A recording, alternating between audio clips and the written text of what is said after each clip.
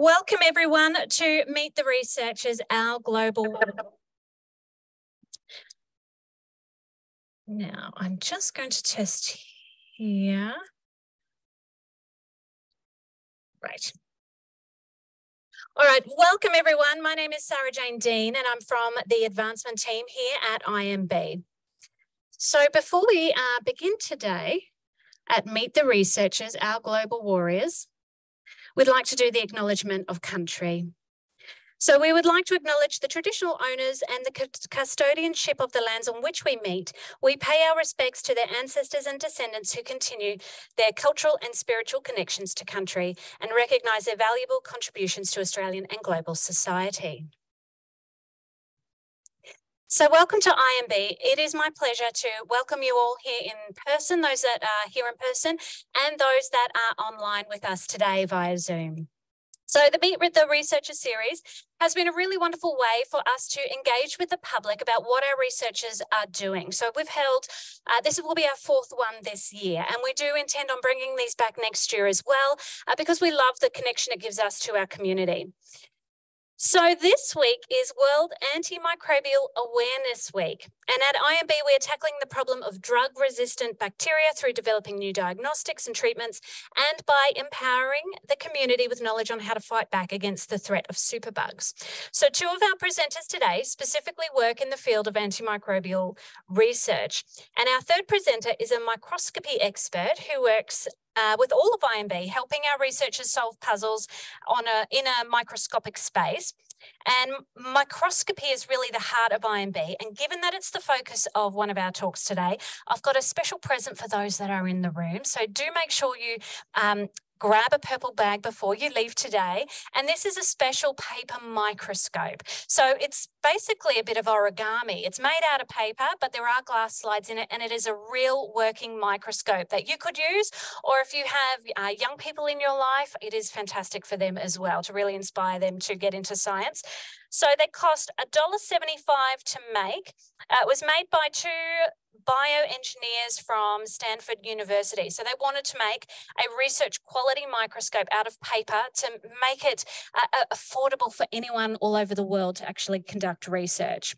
Uh, so the origami style microscope magnifies 140 times, and that's enough to see blood cells and bacteria. So it's a nice little gift for you here today. And before we start our presentations, we would like to acknowledge our Director Circle members who are with us today. So we have Dr. Catherine Lawrence and Jeff Lawrence, Dr. Selwyn Russell and Patricia Ash. So thank you for joining us today. So without further ado, we're going to welcome our very first guest, which is Professor Matt Sweet.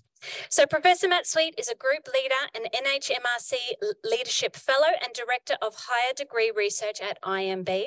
His lab studies the innate immune system, the body's first line of defense against infection and injury. So thank you, Matt, for joining us. We look forward to hearing about your work and how it ties to Antimicrobial Resistance Awareness Week.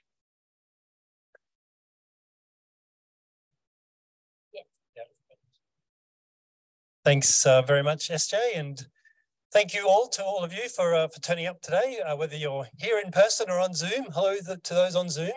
Um, and it's great to have the opportunity to present today. And, and I think the theme was our global warriors. And I'm going to try to cover three different global warriors in uh, today's short presentation. So uh, let me see if I can get going.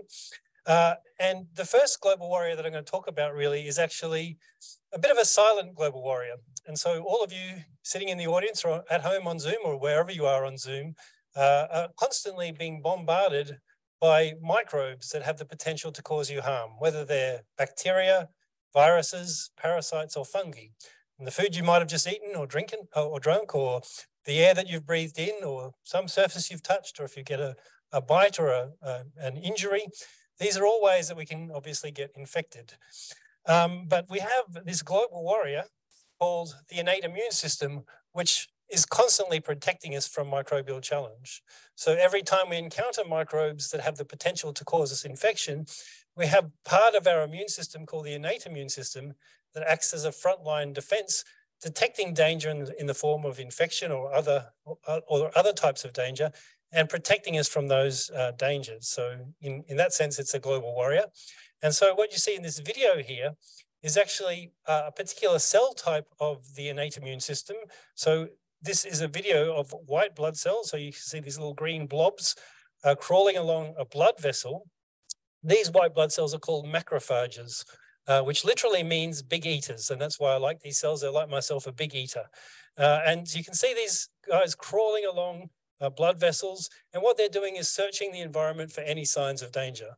So these macrophages are present in every tissue in our body, and they're on the on the um, the lookout for any sorts of danger, whether that be an infection or something else. And so, uh, just like any system, the innate immune system can sometimes fail. And when the innate immune system fails, of course, we then uh, um, come down with an infection. So you might have a, a, chest infection or a respiratory infection or some other infection, which makes us sick. And if it gets really bad, can be severe disease. And uh, we refer to those agents that um, that cause disease, uh, those infectious agents that cause disease, uh, as pathogens or pathology generators. So that's the term pathogen, where, where the term pathogen comes from. Now, um, so the, I guess the official terminology or, or description for pathogen would be any infectious agents that can cause a disease. But I have a different definition for a pathogen. I have the definition as in any infectious agent that can overcome the innate immune system. Because we have this functioning innate immune system that protects us, the only way that we can get an infectious disease is when a pathogen overcomes the innate immune system. So if that infection is a bacterial infection, um, many of you in the audience will, will obviously be aware that we've got antibiotics to treat bacterial infections. So antibiotics directly target bacteria. So they, they uh, use uh, methods to kill bacteria because bacteria are unique um, uh, to our own human cells. And so there are antibiotics that directly kill bacteria via various means. And so we can treat bacterial infections when they get serious, as you'll be well aware, with antibiotics. And so we have this, if our innate immune system fails, of course, we've got antibiotics to treat bacterial infections. So uh, in some ways, there shouldn't be a problem. But of course, I'm, again, I'm pretty sure that many of you in the audience will know that we do in fact have a problem, and that problem is superbugs, uh, as the common terminology is used now. That refers to bacteria and particularly bacterial pathogens that are resistant to multiple types of antibiotics. So antibiotics that directly kill bacteria. Now we have bacteria that are resistant to the antibiotics. So when our immune system fails to clear a bacterial infection, now uh, we have a situation when you have a superbug infection that we don't have any treatments available for people with those infections. That alone uh, is worrying, but this is even more worrying because what you see here is in uh, my depiction of the antibiotic pipeline. Okay, so this is the efforts from scientists uh, like myself or others, or Lily here, who's going to talk next, um, and uh, and industry trying to develop antibiotics. And there's not much coming out of the antibiotic pipeline, and there hasn't been for decades, to be honest. And the other issue, uh, not to not to put too bleak a picture on things, but the other issue is this timeline here uh, which shows you that uh, examples of antibiotics that have been introduced into the clinic, and you can see in orange when antibiotics are introduced into the clinic, that in red is the, the timeline when after introduction into the clinic, antibiotic resistance emerges. So an antibiotic is um, um, goes into the clinic to treat bacterial infections, and then very soon after, antibiotic resistance emerges so that the antibiotic um, uh, loses its utility. Doesn't mean that it can't be used. It's still plenty of potential for it, but its utility in treating infectious disease is greatly reduced. So um, this diagram here depicts, uh, is my attempt to depict to you just how big a problem uh, this is going to be in the years to come. Um, so it's predicted that by 2050, there'll be 10 million deaths per annum from antibiotic resistant bacterial infections. Uh, to put that into some perspective, there's usually in the order of 60 million deaths globally every year. So 10 million of those from antibiotic resistant bacterial infections. That's the, the predicted, prediction, overtaking uh, some of the known major killers like cancer that are, are uh, obviously a, an ongoing and major problem. And you might think, well, that's three decades away. Possibly, there's not really that big a, an urgent need to worry just yet, is there? Actually, the problem is already here. So in 2019, um, an analysis was done to, uh, to I guess, try and uh, estimate the number of deaths globally attributed to antimicrobial resistant bacteria.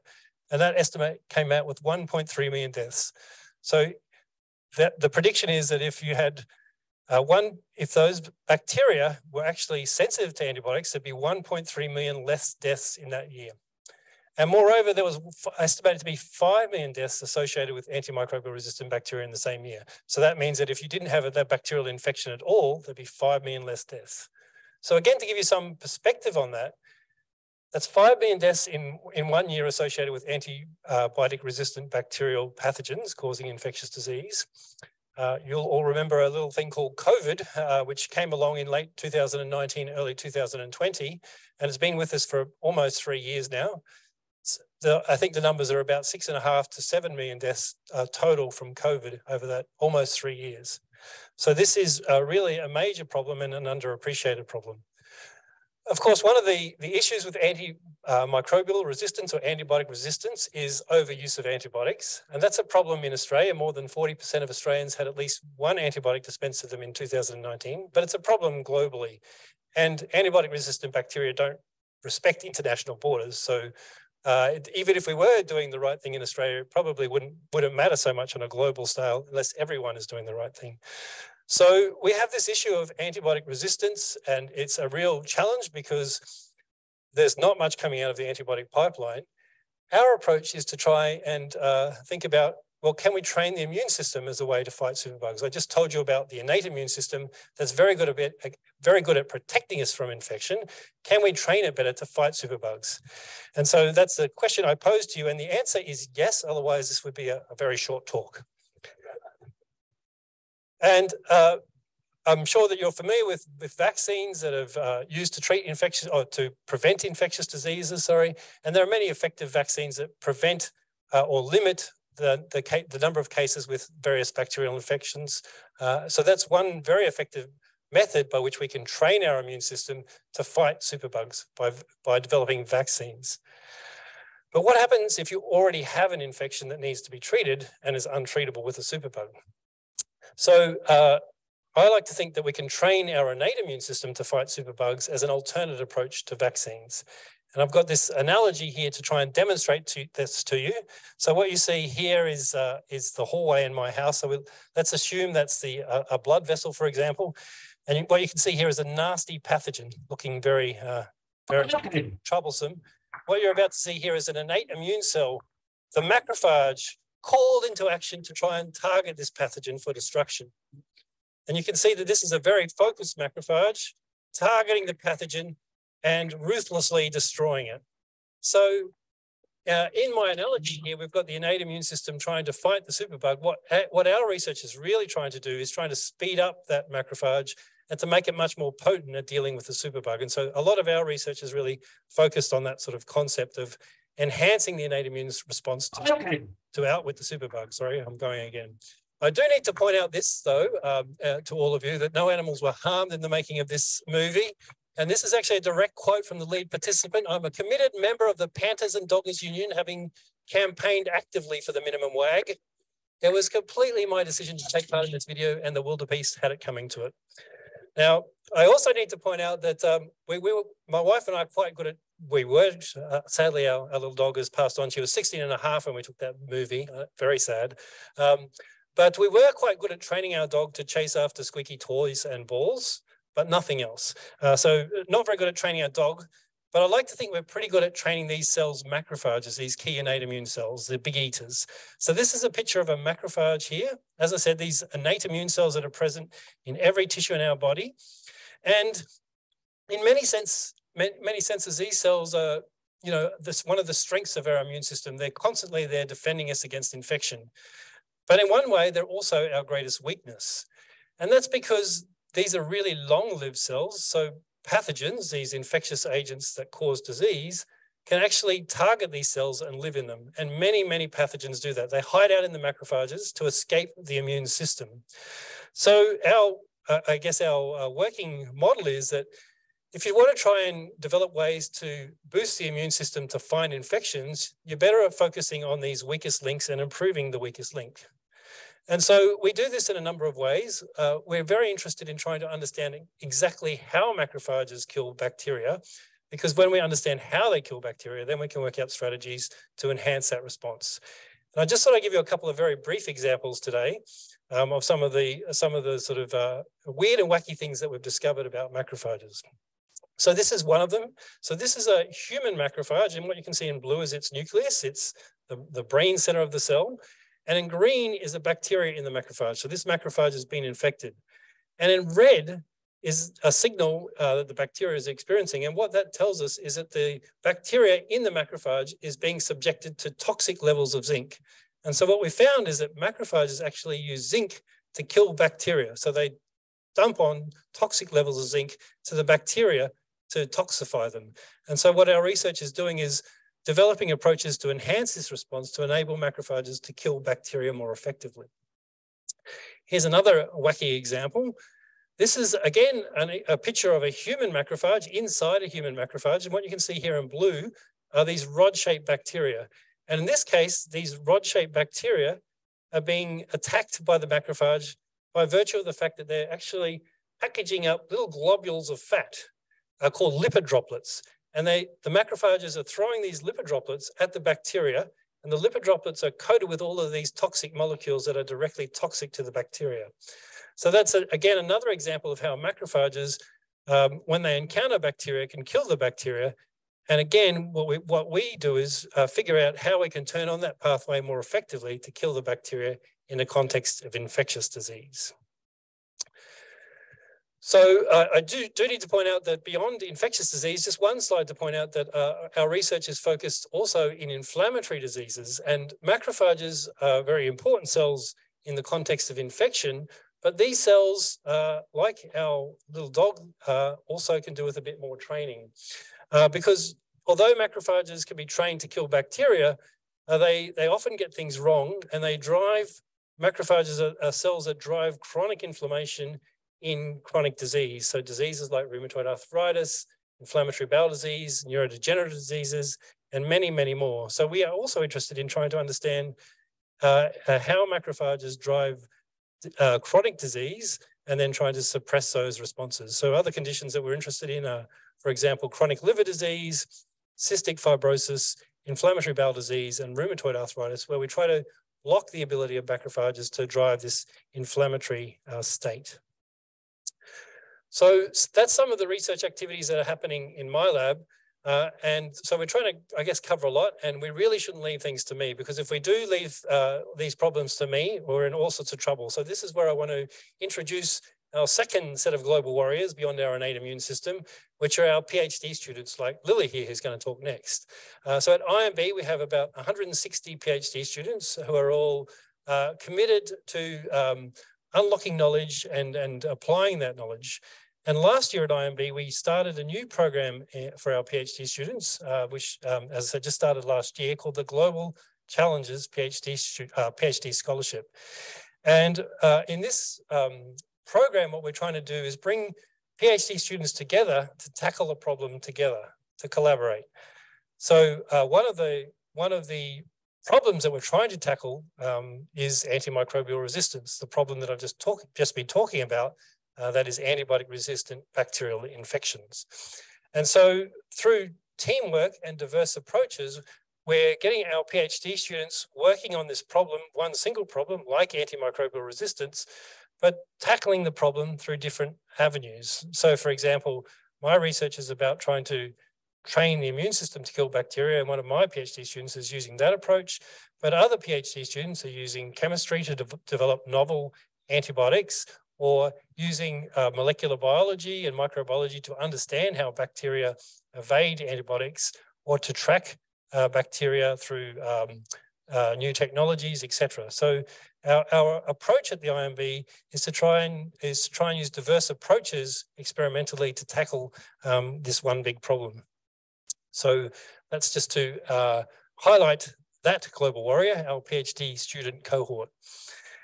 And then finally, I wanted to talk about another set of global warriors, which is all of you in the room. Um, and uh, uh, the title of this slide is the three P's of scientific research. And um, uh, for those of you who know anything about real estate will know that the, the three P's of real estate are position, position, position. Well, I like to think that scientific research also has its three Ps. And in scientific research, it's the people, the people, the people. Because science is, is an amazing uh, game, if you like. It's a, a group of people, you know, uh, SJ just mentioned that we have about 500 people in this building who are all committed to unlocking new knowledge and applying that new knowledge in all sorts of ways. And it's, it's an amazing and inspiring place to be in, but it's also an incredibly, uh, I guess, challenging environment uh, and that's partly because of the funding landscape that we all exist in. So in terms of the three Ps, this is uh, this is my people. This is uh, the people in my lab who do all of the research that I'm incapable of doing. This is uh, this is our lab uh, uh, on a lab retreat recently where we actually escaped the IMB, and this is them doing their very best supermodel impersonation here. Um, and you know, my lab is uh, currently a team of about ten people. But um, you know, uh, labs around IMB are, are, groups of different sizes and around Australia. And actually, maintaining these groups of people to do research and to drive projects that are very long time, long sorry, long term, is often a very uh, challenging thing to do. Um, so you know, Australian science needs dollars to keep it going. And at the moment, we're actually in a pretty, uh, I have to say, it's a pretty uh, difficult time in Australian science because the, the grant funding rates uh, within Australian science through the major schemes are incredibly low, um, of the order of 10%. So one in 10 grants will, you know, will be funded on average for many of the, the schemes. Um, and so uh, what I, I, guess encourage all of you to be is global warriors. Um, I know you're all here today, so that says a lot about your interest in science to really lobby, lobby federal and state MPs and anyone else who will listen about the importance of scientific research uh, and to keep the conversations going with others in the community about the importance of scientific research. Uh, and um, I guess one last point I want to leave you with is to, to really talk about the need to value discovery science. Okay, so um, and, and by that I mean discovering uh, fundamental aspects of science and not necessarily knowing what the applications of that science are. So we have been working on understanding how macrophages kill bacteria. We need to understand that before we could possibly apply it to trying to, to treat infectious disease. We need to understand the very fundamental basics of how things work. And so I like to think that today, today's discoveries in discovery science are going to deliver the solution to, to tomorrow's problems. And I just wanted to leave you with one last very specific example of that. So about 30 years ago, there was a famous uh, immunologist in the US who used to work on a different cell type to me, T cells, which are, which are a different part of the immune system. And that immunologist uh, used, to, used to study these T cells and basically try to understand how they receive signals from the ex external environment and how they interpret those signals. That was his sole focus. He was trying to understand how those cells worked. He didn't have any intention to, to apply that to, in any way. He just wanted to understand how they work. The work from that researcher, Jim Allison, ultimately led to immunotherapy. And I'm sure many of you will be familiar with immunotherapy uh, as now being used to treat many different cancers. As one example, melanoma. So, you know, 10 years or more ago, stage four melanoma was a death sentence. It was almost no chance that anyone would survive beyond five years if you had stage four melanoma. Now there's about a 25% uh, survival rate for stage four melanoma out to five years and beyond, and it's likely to be up towards 50% in the years to come. So I just wanted to leave you with that as an example. Without the work of Jim Allison and others like him 30 years before, we would never have immunotherapy now. And so the value of discovery science is something that comes decades later. So a final word from me before I um, pass back to SJ is, uh, I, I, guess I haven't tried to talk too much detail about the research we we do uh, in my lab. I've just tried to give you a little snippet about some of the, the research that we do. Um, with the hope that that will keep you a little bit interested and maybe you want to find out more. And uh, I leave you with this last line. As my father always said, the first rule of theatre is to always leave them wanting more. A good man, but a terrible anaesthetist. so, sorry about that. I always have to have one bad joke in my talk. So thank you very much for your attention and uh, I'll pass back.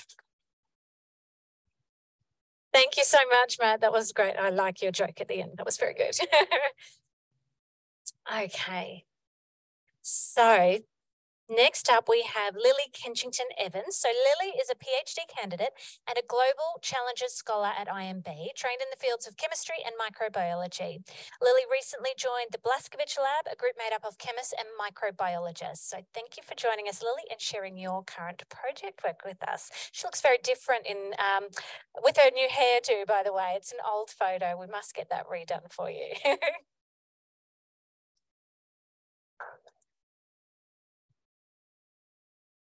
Hello, can you all hear me well? Perfect, brilliant. Righty. So, as Matt mentioned, I'm also going to be talking to you today about antimicrobial resistance and really where my PhD project comes in on that. But before I begin talking about it, I wanted to show just a cool image of something called a biofilm, because when we think about bacteria infecting us, we sometimes think about them as these single cells, but for the most part, they actually form these pretty complex communities. And now this is what they usually look like, but it's something that I find intriguing, and I think it relates to my story coming into science. So at the end of the day, what I'm trying to do is design super drugs to combat our super bugs because I am a chemist. Yeah, sure. Yeah, of course. Um, so I thought I'd talk to you a little bit about my research career and how I came to be this global warrior. So I've had a pretty varied research career. I actually came from a performing arts background uh, initially, but I found the creativity and science too good to miss. Um, so this was me in the Amazon doing some work on biodiversity and sustainability. And then I did some work in a parasitology lab, so parasites such as um, plasmodium that cause malaria. I also did some research into material science because I was trying to look at how to capture um, carbon dioxide in a form of sort of environmental sort of avenue. And then I have an award for my science communication and education, and that was presented by John Brumby, our AO, the old Victorian Premier. And lastly, to my research here at IMB at UQ. And I think my research career um, really culminates to this image because I heard about this Global Challenges Scholarship and I thought, that's exactly what I want to be doing. I want to be helping the world in that way. Um, so just to reiterate what Matt Sweet already touched upon, antimicrobial resistance is one of the biggest threats to global health, food security and development today. And it is estimated that it will cause 10 million deaths um, per annum by 2050. And as we know, that estimate is pretty spot on given the 2019 statistic. So Antibiotic resistance has arisen from a number of reasons, including the anthropogenic, so human use and misuse of these drugs, as well as intrinsic bacterial resistance factors. So that means that bacteria have a few different ways in their cells of breaking down our drugs or sending them back out. And it is going to have an economic and health burden that we need to address. But more importantly, we need to address that dwindling antibiotic pipeline. And that's where my research again comes in. So I understand that this may be a bit of a overwhelming slide, but I think I'll be able to talk you through it. So when we're talking about antibiotic resistance, we're not actually talking about our bodies that develops resistance. We're talking about the bacterial cells. So this pathogenic agent that's infected us, that's bypassed our innate immune system and is able to live and cause infection. So when we prescribe one of our drugs, seen here, yeah, well, I'll just, sorry, get a laser up there you go. Um, when we prescribe our drugs, bacteria have a few different ways of not only sending them back out of the cells, but breaking them down or simply altering them so they no longer work. The take home messages there's multiple ways that bacteria destroy our drugs. On top of that, though, most, if not all, pathogenic, so these disease causing agents, bacterial species form biofilms. Now, biofilms are this community of microorganisms that are encased in a protective coating. So they don't just exist by themselves, they exist in this dense matrix. Now, you may be familiar with biofilms through implants that become infected or catheter associated urinary tract infections, as well as diabetic ulcers that are hard to treat. They're all the result of biofilms that have been able to form and create this community in our body. And this is just another image of those biofilms, but we're taking a little bit of a step back. And I just wanted to show the beauty as well of these biofilms. They're quite fascinating. So really my question is for my PhD, can we join two antibiotics together to combat antimicrobial resistance? And the answer is yes, we can. I'm not the first person to come up with this idea, um, but I am doing it a little bit of a different way. And really, my question then becomes combating antimicrobial resistance with these compounds called conjugates. So it's the design and synthesis of dual acting antimicrobials, because as I said, I'm a chemist. So we're going to take a bit of a left field and I'm going to give you a little chemistry lesson. I hope everybody's okay with that. It's uh, it'll be brief and I think you may learn something. So as a chemist, when I see the periodic table, I see building blocks and Lego blocks because that's what I use in the lab. And we really have that creativity to just take a compound and make it into something else or have a think about it. So this is pretty standard chemistry. We take A and we take B and we try and join them together. So is everybody following along? Yeah, and we form this new product. So this is just going to be our compound, let's say. For a real world example, we can show forming water. So we take hydrogen and we take oxygen and we make water. And if you can see, there's two red dots over on the product side and then two red dots over on the starting material side. We have four green dots and four green dots. Okay, so we're all comfortable with that? yeah. We can then take it to the next step, which is my research project. So this is four years worth of work in one slide. um, but this is something called a copper catalyzed azide alkyne cycloaddition reaction. You don't need to know that. You just need to know that I'm joining two antibiotics together. So the basis is we take one antibiotic, something like penicillin that you may have all taken, and we attach a little handle to it. We can then take another antibiotic, something like this, let's say, and attach another little handle to it. We can join those two antibiotics together using this little link over here. Um, the little handle that we attach, just for this sake of this talk, is N3, which then turns into the three ends over here in this new circle. Similarly, we take another red antibiotic just as a generic one and form it the other circle over here. And this is how we make our dual acting super drugs. So it's almost like a form of combination therapy, if you will. And this actually um, won the Nobel Prize in Chemistry in 2022, this type of chemistry using this type of reaction, the copper catalyzed reaction. And that's because it is really fascinating chemistry, which I won't go into now, but if you have any questions, more than happy to answer them later. Now, I've told you that this type of uh, sort of chemistry works, but I guess I'll give you a real world example. This is not my own current research. This is from 2011. And this group were able to take a compound called ciprofloxacin, so just an antibiotic, regular, and another one called trimethoprim, and join them with this little linker. So it's not the same as the one I just showed you with those three ends, but they were able to show the you know, proof of concept that even when you co-administer these antibiotics by themselves, it doesn't work as well as when they're joined together. So this is what I'm really hoping to see with my compounds. So how do we go about choosing these antibiotics? You know, which ones do we have to attach our handles to? This is the question that I ask every day. And as a chemist, it's not as easy as taking the antibiotic and attaching the handle. Maybe sometimes we have to make some slight modifications. Hopefully we don't actually modify the parent antibiotic activity too much. We don't want it to stop working. Um, but we can make a few slight modifications. So for this one, We've turned this ring over here with a nitrogen and an oxygen into a nitrogen and a nitrogen. And this allows us to attach our N3 little moiety. So oh, I will just close that down. Just back to our representation of an antibiotic with an N3 handle. I'm also working on another type of antibiotic right now that I also um, won't show you it all. you don't need to know.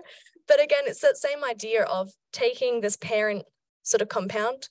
We're not going to modify this because we don't want to lose the activity, but we can attach another antibiotic or a biofilm disrupting agent.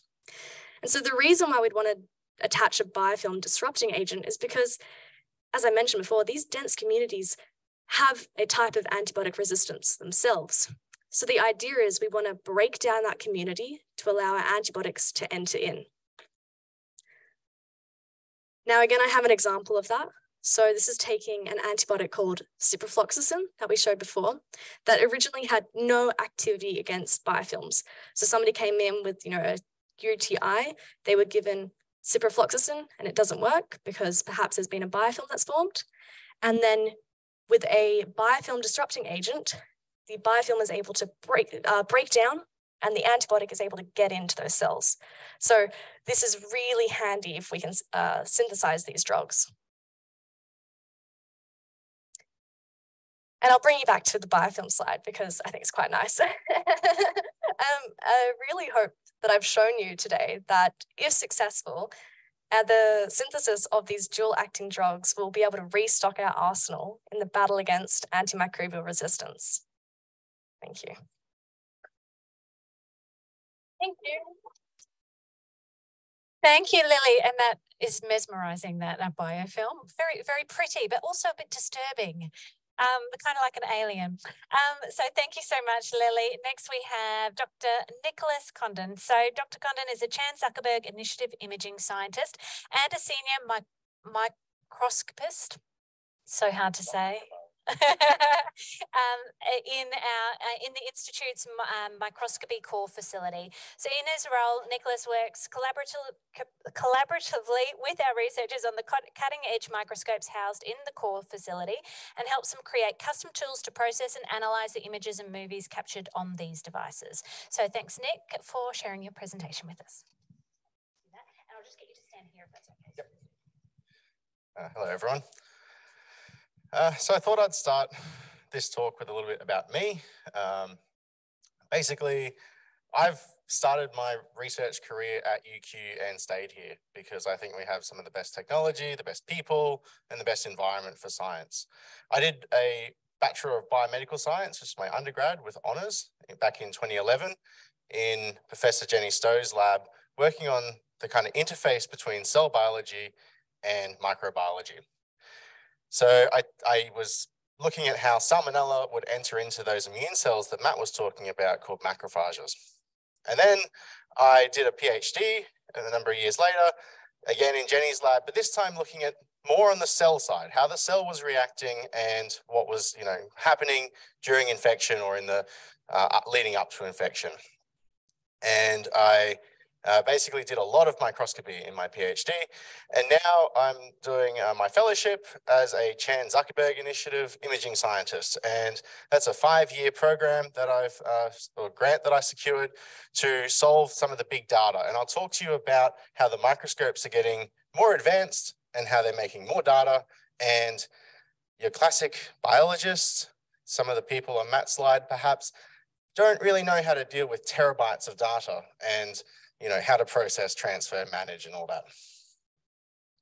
So to take you back to my honors, I was infecting macrophages with the salmonella, and the lab hadn't done that before, so I had to you know, work out from the literature what was happening and how to do it, and how many how many bacteria to put on per cell and things like that. And it involved lots of counting. So, you know, cell one has five bacteria, three are inside, two are outside. And that got really old really quickly because there was hundreds and hundreds of images. So it sparked my interest in going, well, maybe we can use the computer programs to count the bacteria. And how would we go about that in image analysis? And I had a number of uh, really good postdoctoral and group leader mentors. And one of them took me to the confocal and we did live bacterial infections and we could see a cell getting infected in real time. And that really sparked my interest for complex microscopy. Then during my PhD, as I said, I looked at the cells side of things and macrophages, these immune cells, this is what one of them looks like here. It's quite pretty. And when it was tickled with a bit of an infectious agent, it had this response where it made this big ruffle on the cell surface. And macrophages are really dynamic cells. They have to be. Matt showed the video of them crawling along, surveilling, looking for things. Well, they turn over their membrane every half an hour. And so this is a movie I captured during my PhD where the cells are ruffling and sampling their environment.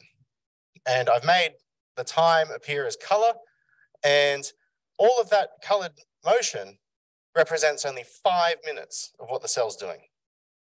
And so previously, if we couldn't capture you know, every second, we wouldn't see all that information happening. And so uh, these drastic changes that occur in this still, it's really not the, quite the whole picture when you look at everything that's happening in only five minutes. So I used these microscopes to screen which proteins are involved in making these structures.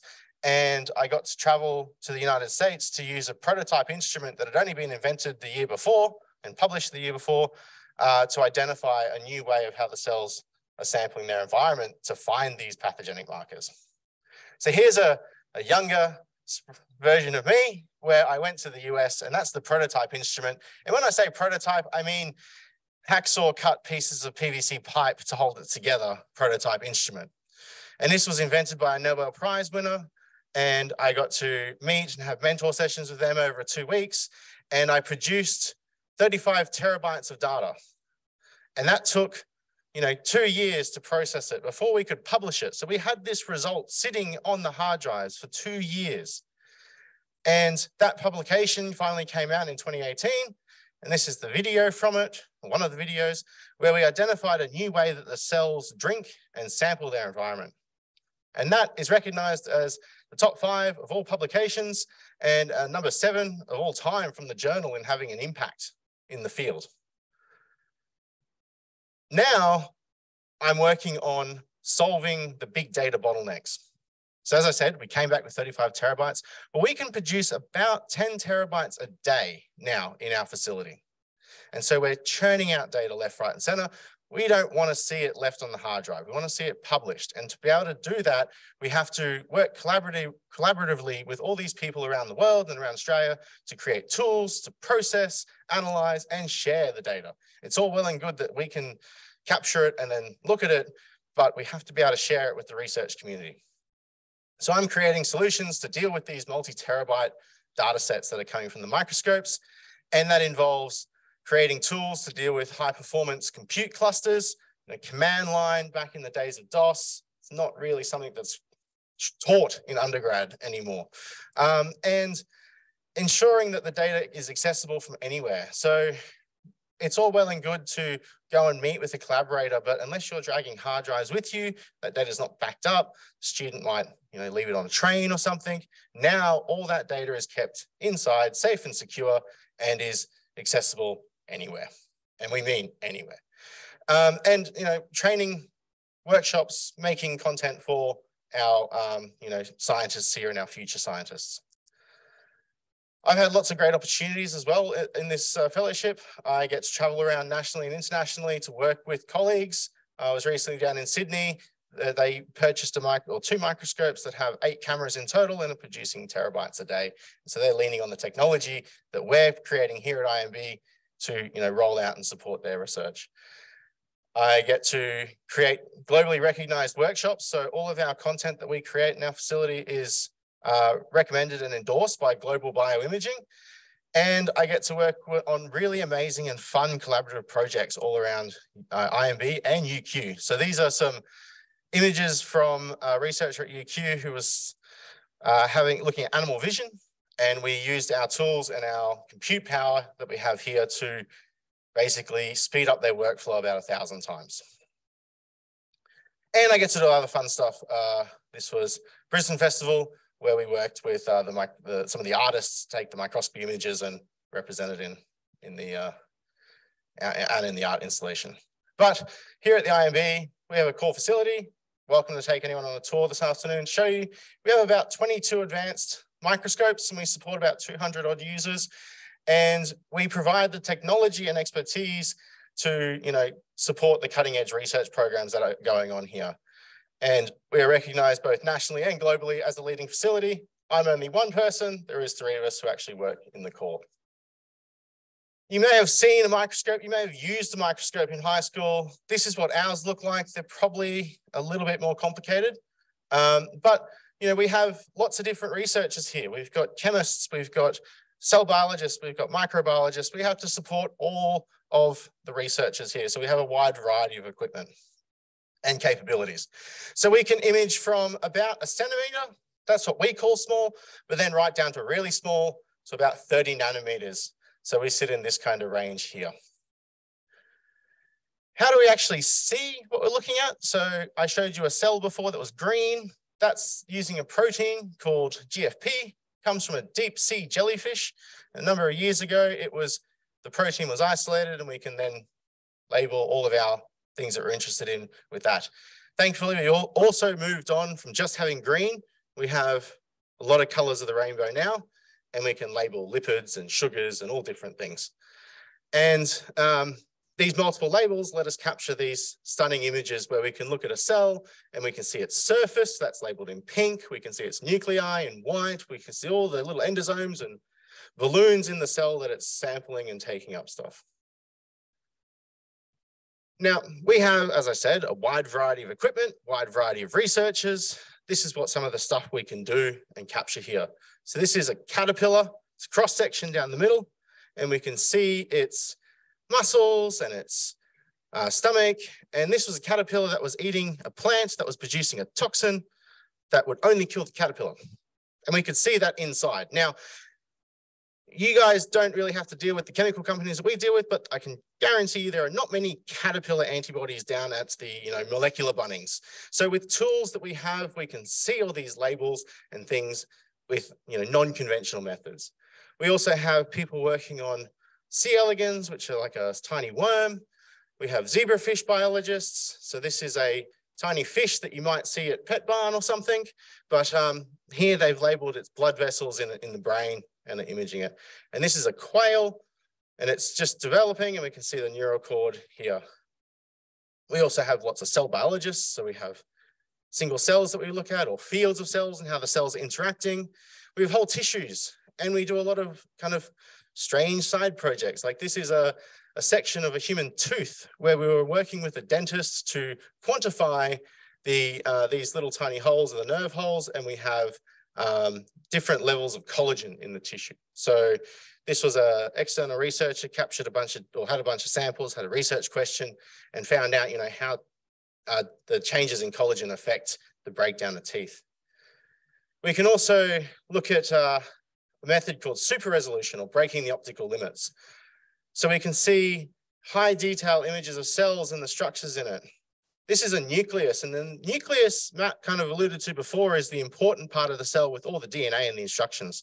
Well, that has to come out of the nucleus at some point so that it's read so that it can make the genes. This movie in the middle that's playing is using a method that we have called STED microscopy, and that lets us get down to really high resolution. So a normal microscope would see you know, the before and the after sees all this extra detail. And that's the extra detail is where the answers to these problems can be found. We also have bacteria here. Now bacteria are really tiny. Most of the images that were shown are all stylized, lovely artist drawings, but these are actual bacteria where we can see structures inside them. So we see really high resolution detail.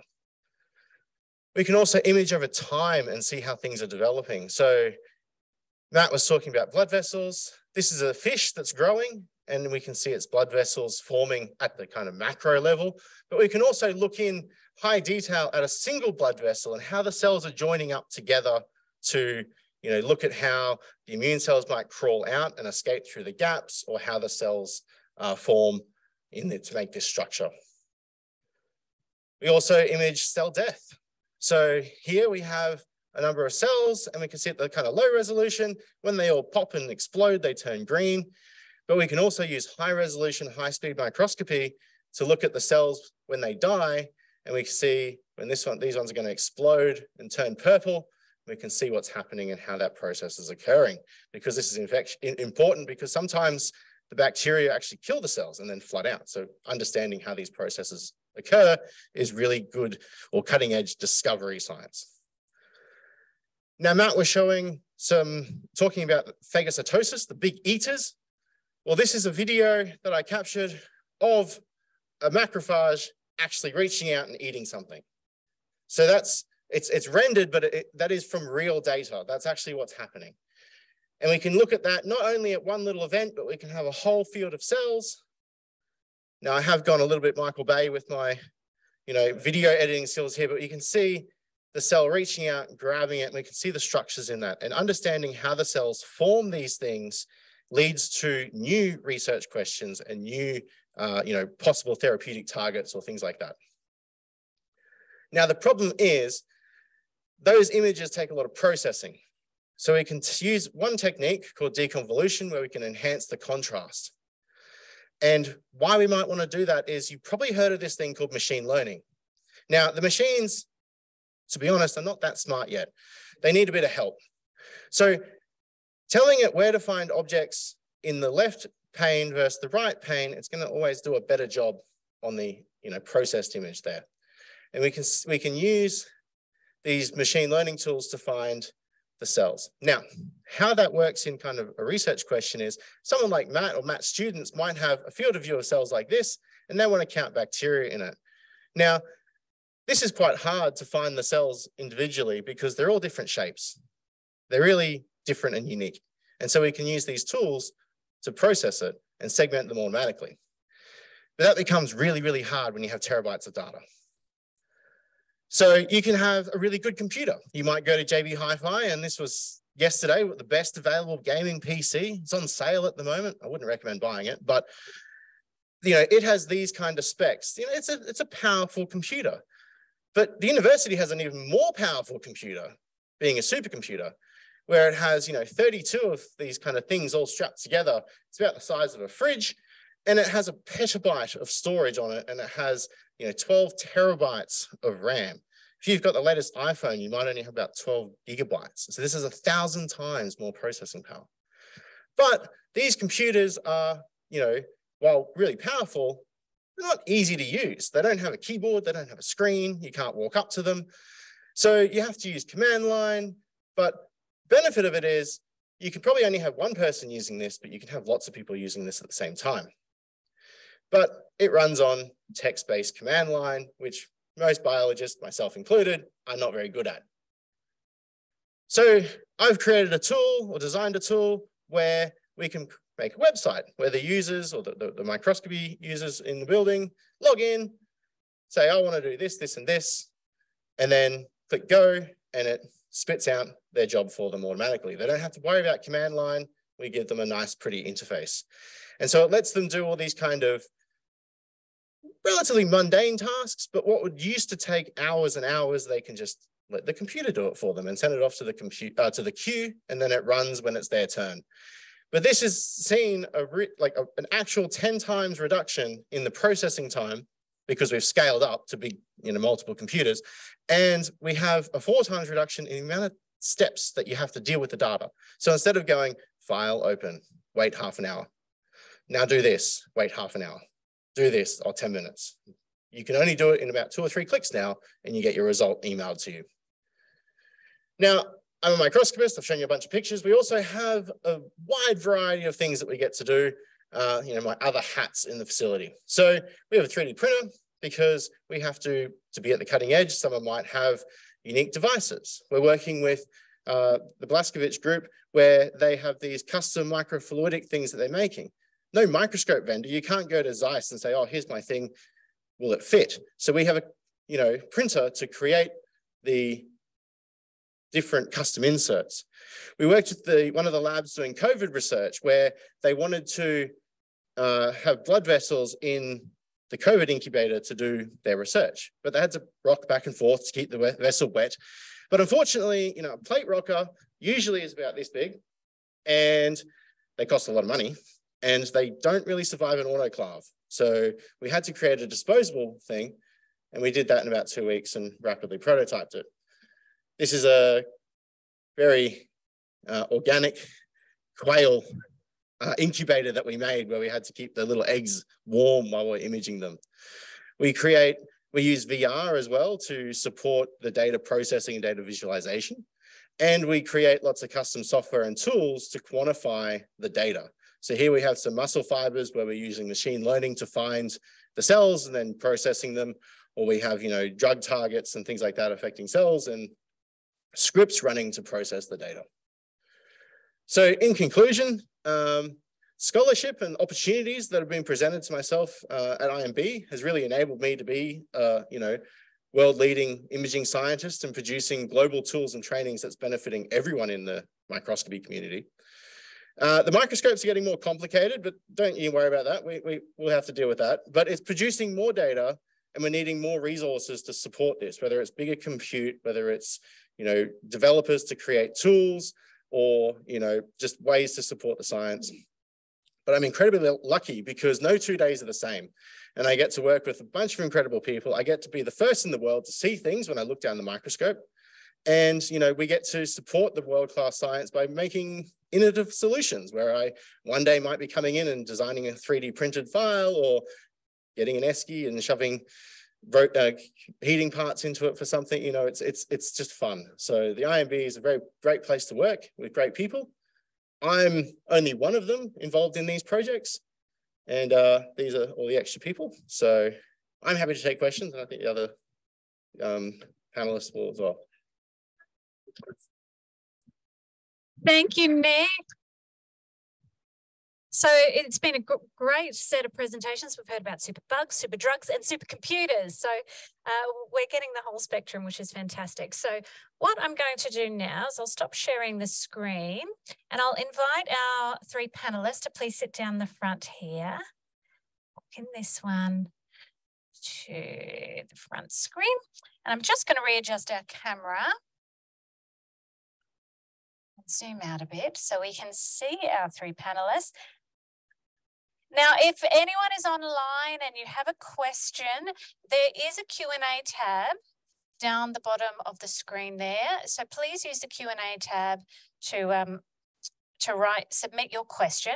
And then of course in the room, you can also um, just simply raise your hand if you have a question. So we might start in the room. Uh, does anyone have a question to begin with? Yes, over here. Start here, sir. Lily, I think you mentioned that the conventional wisdom is that when we're prescribed antibiotic, we should finish the course in order to minimize antibiotic resistance. So even if our symptoms disappear or get better. But I've read an article questioning that. Uh, have you heard any more about is that still the recommendation? And yep. That's a very good question. Um, but yes, you should always finish your course of antibiotics because as, and it actually ties well into Matt's work. So a bacteria infects us and we get ill. And usually our immune system's pretty good at clearing that infection, but sometimes it's able to bypass the macrophage and it creates a disease. When we take our antibiotics, it's a way of helping the immune system. So we need to kill we need to kill all those bad bacteria. But the thing is there's usually maybe one or two that survive. So we want to make sure that we take all our antibiotics so we kill as many as we can. And that way our immune system can maybe kill the one or two that last but yeah, you need to take them all. Yeah. Again in the room, yes, Paulina.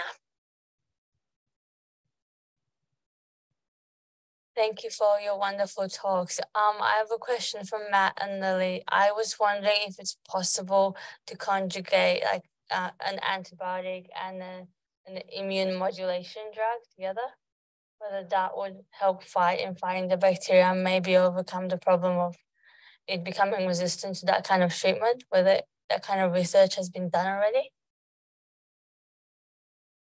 Who would like to answer this? I can both go. um, yeah, no, absolutely. Um, yeah, so Lily mentioned adjuvants, which are a way of um, priming the immune system to, so adjuvants are components we add to vaccines to make the immune system more effective at killing bacteria. But I guess specifically to your question, yeah, I think there is interest in trying to develop ways where we have basically dual targeting, where you might uh, boost the the you know immune antimicrobial response, but also have a direct antimicrobial effect. Uh, I mentioned those the lipid droplets, these globules of fat, and uh, I've actually talked with people in the building about that as a possibility where you actually could incorporate the, these uh, lipid droplets can accumulate molecules that you could actually use that as a strategy of targeting antibiotics through lipid droplets to intracellular bacteria. So that would be one approach.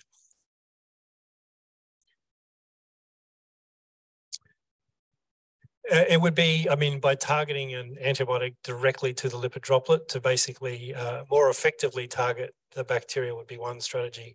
Actually, um, related to that, what we have been doing is using an approach, not quite the same, but actually using a molecule that both, both um, boosts the immune response to actually kill bacteria more effectively, but also at the same time dampening uh, inflammation that um, is also a problem when you have a severe infection like in sepsis, where the inflammatory response is out of control, and that's what ends up killing you. So we're trying to do both things with one molecule by boosting the ability to kill the bacteria, but also turning off the inflammation that's doing us harm at the same time.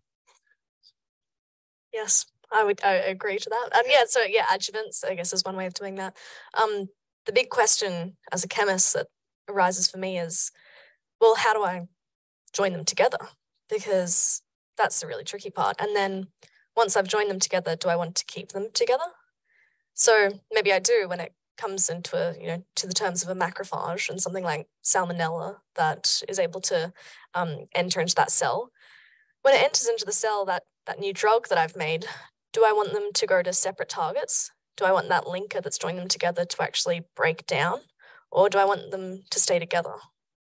And yeah, that's, I mean, you, you could pretty much do anything. That's the fun part about chemistry, but whether it would go into the right places is the next thing. Hmm. Any questions online? No, we'll stick to the room then. Thank you, all three of you. It's amazing to listen to you all. It's an incredible work you're doing. Um, I wanted to ask um, Lily, with you mentioned that joining them together is more effective than just taking the two separately. I was just wondering if you could explain why that is, um, please. yeah, it's well, it's very fascinating. So it's always really exciting to see those um, results, and I haven't seen that yet. Um, so the reason is you are taking two known antibiotics, and we know where those antibiotics work. We know that the site that they're going to to kill the bacteria. But when we join them together, technically we're creating a new type of antibiotic because we've changed the sort of properties or what it looks like.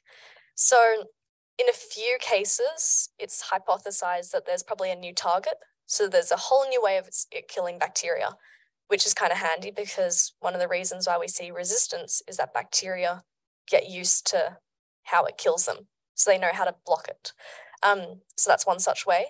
Another reason is due to, sorry, what was your question? The why you have improved? Yeah. Um, another way is bacteria are really, really, really small and they have a limited amount of energy.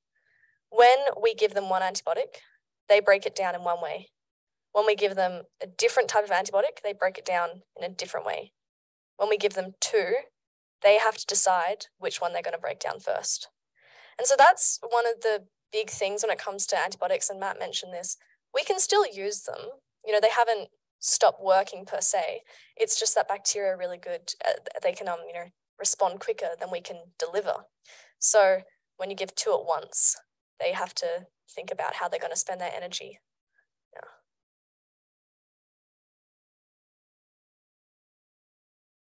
Hi, thanks very much. That was uh, fascinating. I just want to ask a question about data, if, if that's okay. Uh, uh, it was also fascinating hearing about submitting command line jobs to computers, like going back 50 years. It's, it's um, uh, I understand uh, about creating the data and making it available to people. I just wondered where commercialization of that data and IP comes into that, and how how UQ can protect anything that it, I, I, know you're off, often working for for clients. How how do you protect uh, uh, the university's interest in the commercialization of that uh, those discoveries? So it's, it's an excellent question. Um,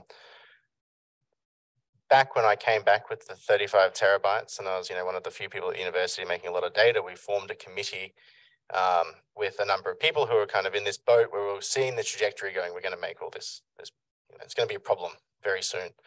So the university has invested in significant data storage where we have siloed um, collections of data. So, you know, Matt might have five of these for five different projects he's working on if we have a commercial person come in, then everything sits in one collection.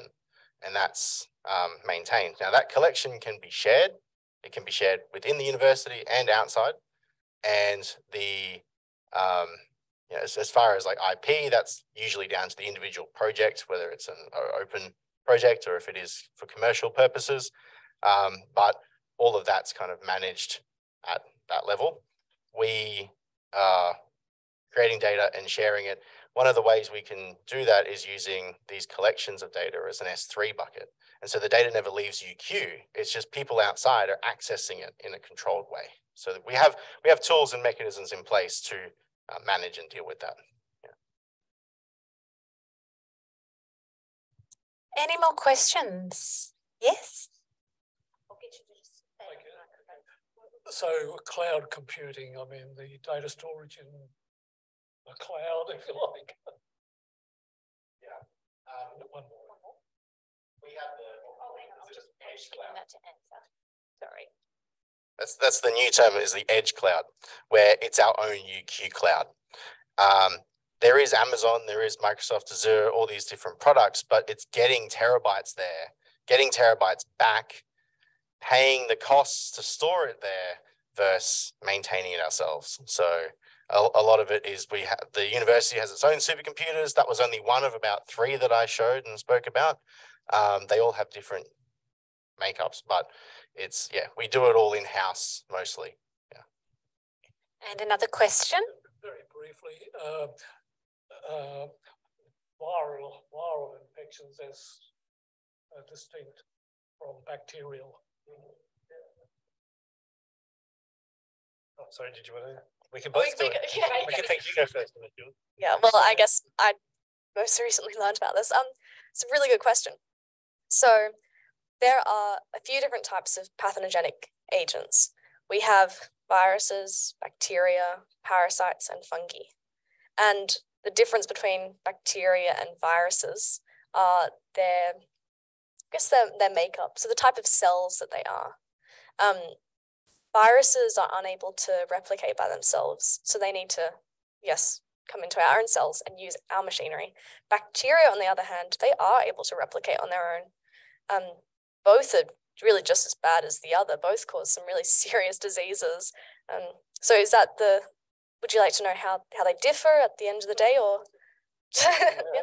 Would you like to add? Yeah, I can add something to it. Yeah, I mean, and I guess uh, just in terms of how our immune system deals with with bacteria and viruses and other pathogens, um, there are different arms of our immune system that operate in different ways. And our immune system generally works by understanding where a pathogen is. So, as Lily said, some bacteria live outside, and our immune system will respond to bacteria that live outside cells in a different way because they can directly access the bacteria. The immune system can use antibodies, for example, to target the extracellular bacteria. Whereas if there's bacteria inside the cell, then a different part of the immune response is required.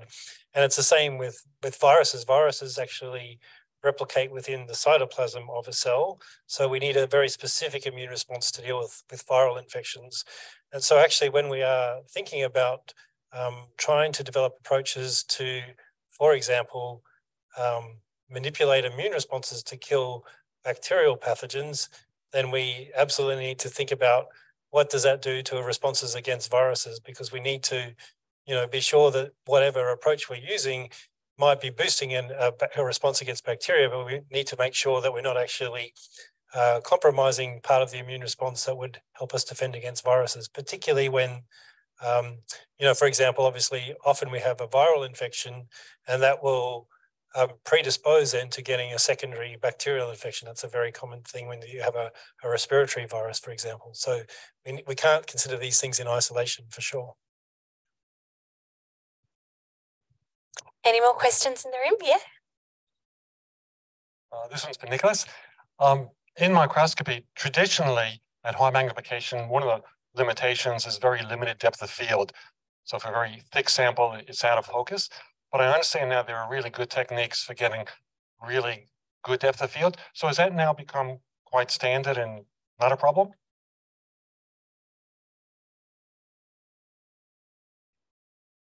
Yeah, so the the it's an excellent question. Um, recently in the field, a lot of developments happened in what's called light sheet microscopy. So usually we would have a sample, like a cell. It's kind of like a fried egg.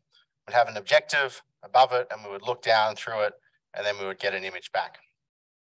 But we relied on the optics of that objective to have a very thin optical section because we want to have a thin section, no out of focus light. It's nice and sharp, contrast, you know, it, it's high resolution. But what the, you know, the limitation is you rely on optics and they can get very expensive. They can't be miniaturized. We have, you know, it's a challenge. So with Lightsheet, we disconnect the excitation and the detection. So what we, what I mean by that is we have an objective shining a thin sheet of light through the sample, and then we look with a second one. And when we do that, we can have different physics means that we can manipulate the sheet size and thickness and things like that. And we have some of those instruments here. Um, they create a new problem because they run faster because you no longer have to move the big heavy objective. You can just use um, mirrors and things to move the whole sheet of light up and down. So then you, you know, the, the biologist will say, well, well, if I can take uh, three times the size volume of images, then I will. And and they don't think about the three times the data. And then you can switch channels faster with that method. So then you have, you know, two or three colors. So then you have two or three times the data there. And then you have bigger camera sizes because you can light up the whole fish in one plane. And so um, while it solves the high res resolution problem, it creates many more problems. So yeah we have one of the instruments I'll show on the tour if you have time to come up.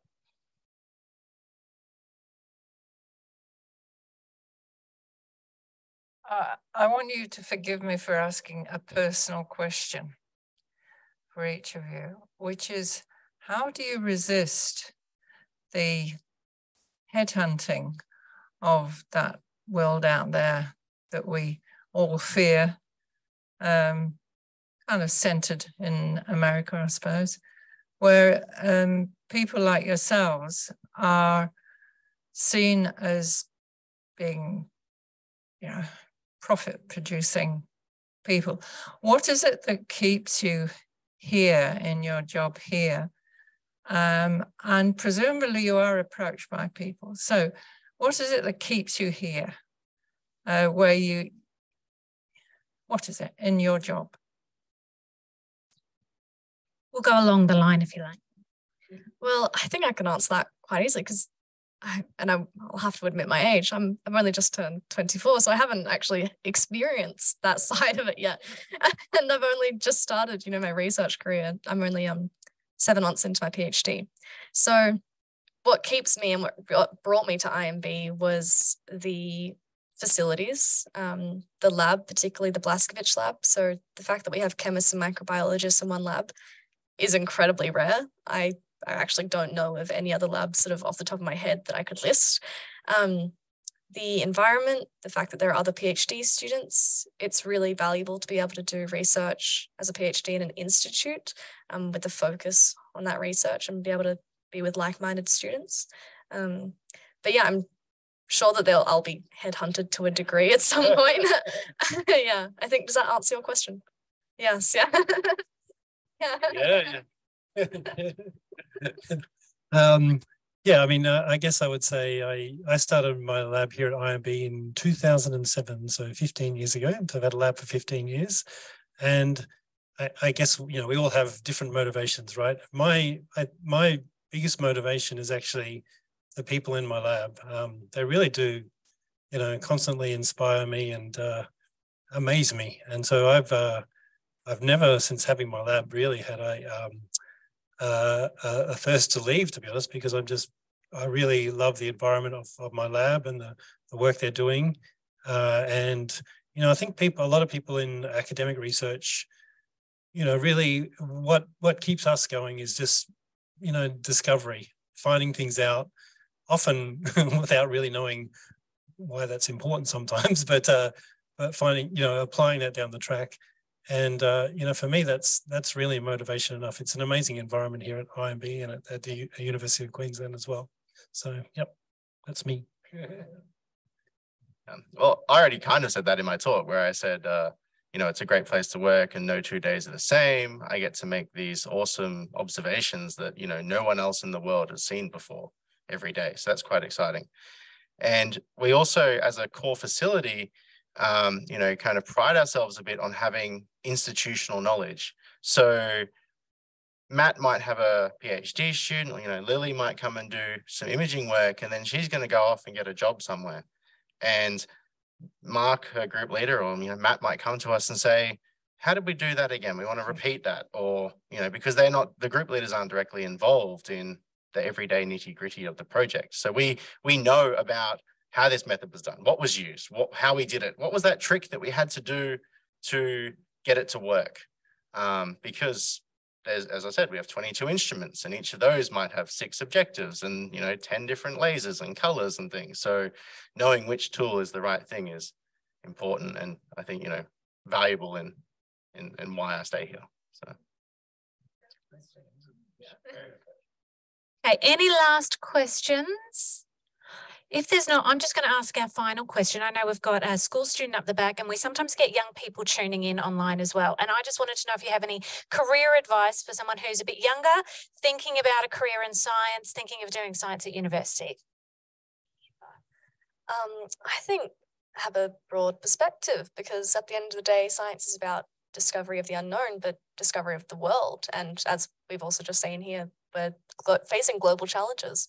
So I think you know, maintain broad interests. And something that I would say from my own personal journey is science communication, because at the end of the day, we're publicly funded. Um, so we have an ethical and a moral obligation to the public to share that knowledge. So I think anybody going into science should absolutely hone their science communication skills. I'm, I'm, I'll keep working. um, I'm not sure I'm actually directly answering the question here, but uh, I did. Well, your question did sort of trick my mind to reflect on a couple. A few years ago, I, um, my lab went on a, a small retreat, and I asked everyone in the lab at the very beginning of the retreat, you know, why did you go into to research into scientific research? Uh, and every single person, including myself, uh, and we went around said it was because I had a teacher at school that inspired me in science. It was like 100% of people. It was amazing. And uh, so I just think that um, the students that are doing science, if you're inspired by by science, go for it because it really it keeps um, keeps all of us ticking over. So yeah. Um, no, I guess my advice to students, and that is definitely keep an open mind. I was the first person in my family to go to university, and I didn't really know exactly what I, what I wanted to do. If I look back at my course history, it was dabbling in a bit of microscopy, a bit of microbiology, a bit of cell biology, maybe chemistry. And then, you know, it's come full circle and now I deal with all of those things every day. So just keeping an open mind is the, the key thing, I think. You don't know where you'll end up. Fantastic. Well, I'll also mention on that topic, um, we have Dr. Dale Owens here today. She's up the back. She's our science teacher in residence at IMB, and she's actually creating some resources for us um, for students and teachers that will be available online. So watch this space. Uh, next to you, you should see some of those appear. So what we're going to do now is just finish off our presentation. You can take a seat back in the audience now. Thank you so much. I'll share my screen again. There and just go down to the end here. And I just wanted to share with you um, some of the ways that you can actually support IMB. Go forward one slide. There we go. So I can say hand on heart, our researchers here really genuinely are so grateful for all community support. Oh, thank you. I have to just move my camera because I can't see that on myself. Can you see me yet, Shona?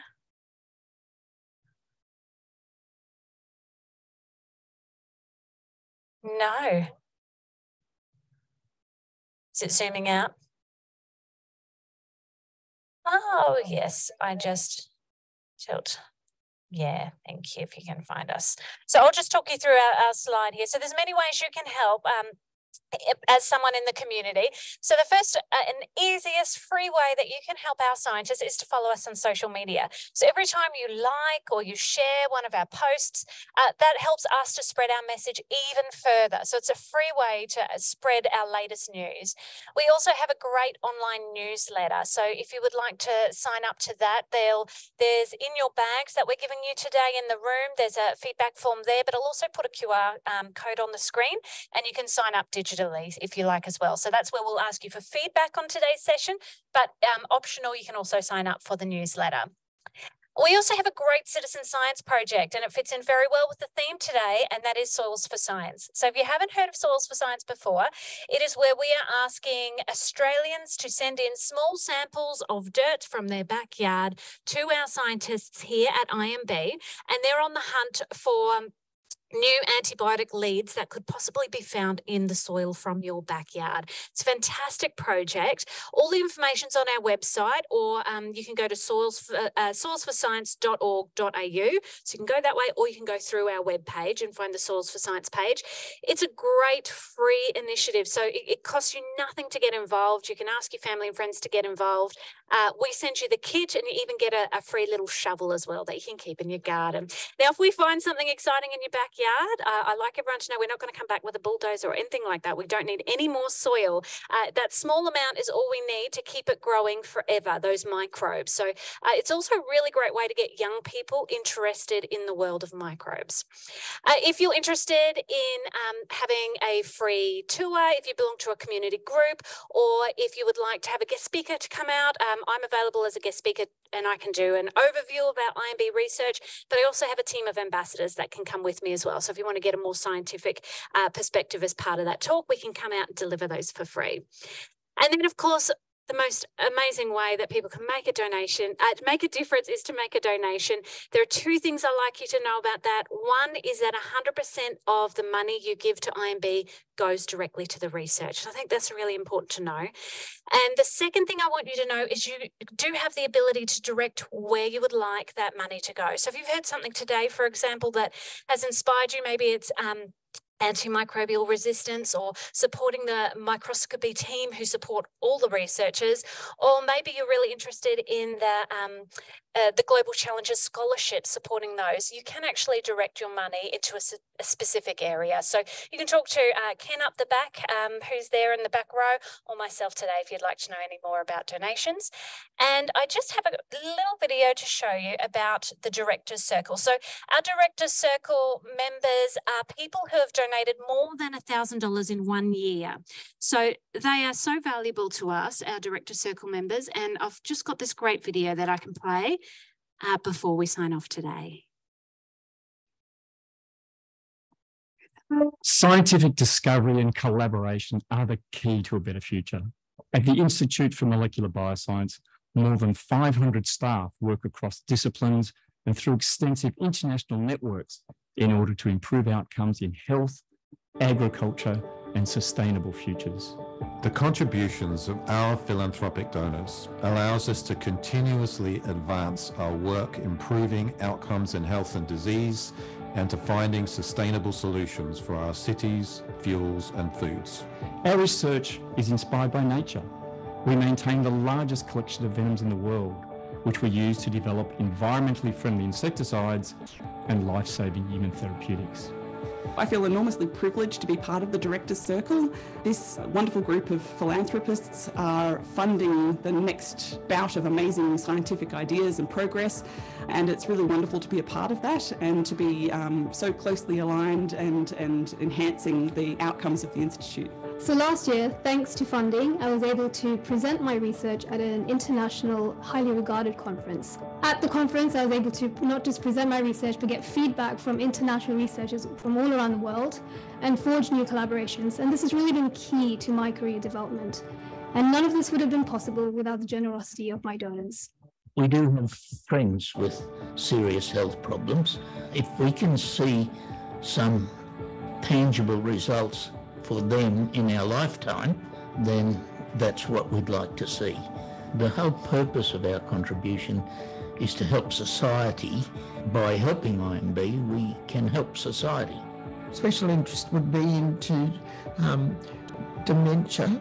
Uh, my mother had dementia. It's still there that you remember it and you can feel for pe- other people who also are facing those problems with their parents. Through philanthropic donations such as the Ultrabar Alzheimer's Researcher Program, I was able to pursue my PhD uh, over here in IMB, uh, the leading research institute in Australia, and was able to study uh, Alzheimer's disease and inflammation. I hope the impact of my philanthropy is twofold. Uh, firstly, I want to see fantastic science at IMB um, performed, really blue sky research that's not um, able to be funded through the traditional mechanisms. Two, I want to see uh, all of the fabulous women at IMB succeed in their career goals uh, and to overcome the barriers to their career progression and prosper so that we have uh, eventually uh, full participation of women at the senior levels at IMB. Well, fortunately, we have met some of the researchers involved, and it's always great to meet those people who are who are doing that fantastic work. And and just as fortunately, we have met some of the the families of people who have benefited from the research we have supported in the past. So it's a real privilege and quite humbling to just step inside their lives for a couple of minutes and, and understand how important this research can be to their lives. Funding from private donors, UQ alumni, and the lot has greatly accelerated our research aimed at developing game-changing drugs to treat stroke and heart attack and to increase the pool of donor hearts for transplantation. We were awarded $10,000 through the disbursement of funds from the Nobel Prize in cryo-electron microscopy. This work allowed us to produce a first novel therapeutic in microalgae designed to support prawn farmers whose industry had been decimated by a white spot virus outbreak. This funding allowed us to produce the protein and conduct the first field trials. Members of the Directors Circle play a significant role in the critically urgent work of IMB. Your contribution lights the way to our next big discovery.